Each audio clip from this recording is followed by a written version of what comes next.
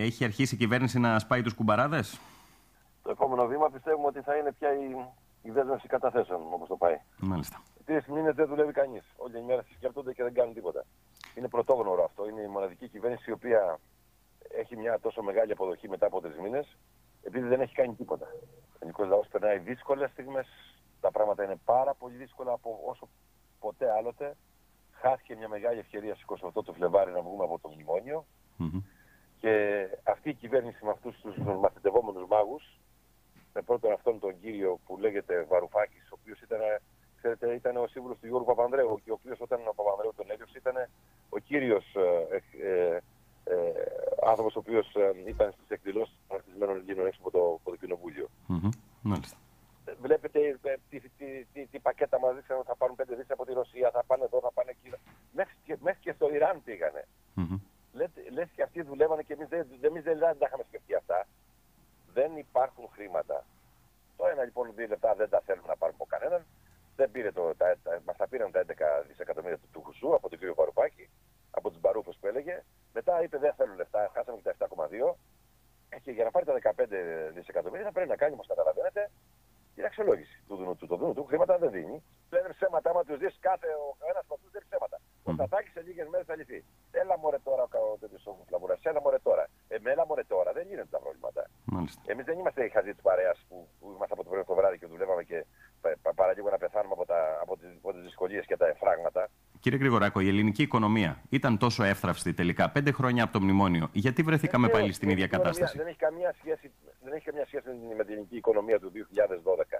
Είχαμε προγραμματίσει και εδώ είναι η αδικία που γίνεται στον ελληνικό λαό, το οποίο δεν το καταλαβαίνει. Βέβαια, όταν καταλάβει κανείς το λάθο, ήταν μακριά από το ταμείο τότε και όλα αυτά δεν αναγνωρίζονται. Δεν είπαμε να μην γίνει διαπραγμάτευση. Δεν, δεν είμαστε αντίθετοι σε αυτό. Και εμείς θέλουμε αυτή η κυβέρνηση. Εγώ προσωπικά και σε προσωπικό επίπεδο μιλάω. Μμμ. Εγώ η κυβέρνηση αυτή θέλω να πετύχει. Διότι αν η κυβέρνηση αυτή αποτύχει, να ξέρετε, θα αποτύχει η χώρα. Το έχετε Είναι ξαναδηλώσει. τόσο χρήσιμα τα Μμμ. πράγματα. Ναι. Οι άνθρωποι αυτοί έχουν ιδεολειψίε. Το πρόβλημά τους λοιπόν δεν είναι η ελληνική κοινωνία. Το πρόβλημά τους είναι οι ιδεολειψίε τους. Δηλαδή, εάν βγει έξω ή μείνει ο Σάβα ξηρό. Αυτό είναι το πρόβλημα της ελληνικής κοινωνίας. Το οποίο φέρνει παρενέργειες. Μμμ. Αυτό είναι το πρόβλημα της ελληνικής κοινωνίας. Και πέρα φέρνει και δύο πράξεις νομοθετικού περιεχομένου. Τις οποίες, αν θυμάμαι καλά. Καταδίκαζε, εξοργίζονταν, ναι. φωνάζονταν, Ο ΣΥΡΙΖΑ κάνανε- καταδίκαζε πάντα, Κάνανε ναι. διαδηλώσεις. Μάλιστα. Διαδηλώσεις και απεργίες. Και η πρόεδρος της Βουλής, αυτή η κυρία, είπε ότι εφόσον πράξη νομοθετικού περιεχομένου από αυτή δεν θα περάσει. Για να δούμε τώρα λοιπόν πού θα, πώς θα περάσει.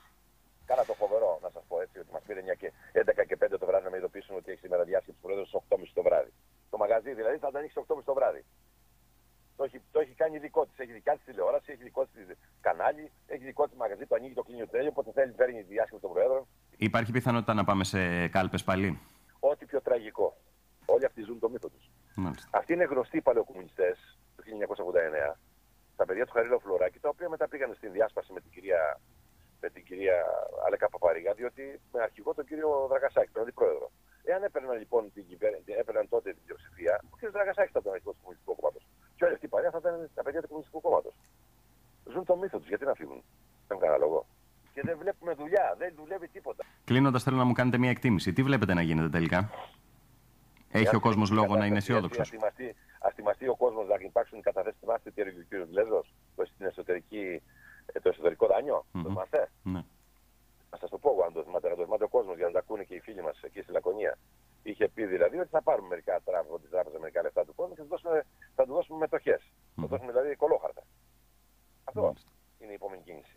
Δεν υπάρχουν λεφτά, δεν θα υπάρξουν μυστικές συντάξεις. Μμμ. Θα πάρουν λοιπόν τον καταθέτη, τον καταθέτη που είχαν πει πάνω από 100.000 ευρώ.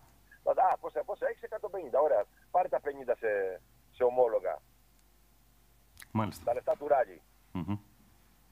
Εντάξει. Και αυτό που έγινε χθες με την πράξη νομοθετικού περιεχομένου είναι ότι πιο τραγικό έγινε. Διότι ουδέν μονιμότερον του προσωρινού στην Ελλάδα είχε πει ο αίμιστος Γιώργος Παπανδρέου. Μμμ. Γιατί βγαίνει ο κύριος Μαρδάς, αυτός ο κύριος, ο οποίος, αν θυμάμαι καλά, τον είχαμε γενικό γραμματέα εμείς.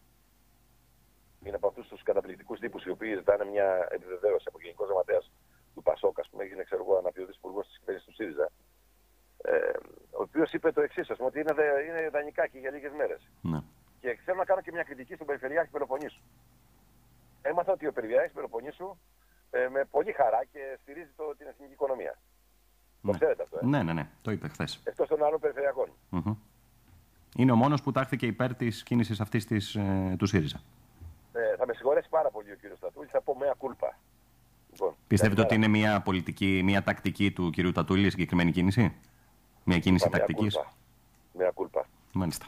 Γιατί έχει, έχει πάρα πολύ καλούς συνεργάτες. Λυπάμαι πάρα πολύ με τους αδιαστότε. Mm -hmm. Και κάνει μια προσωπική πολιτική.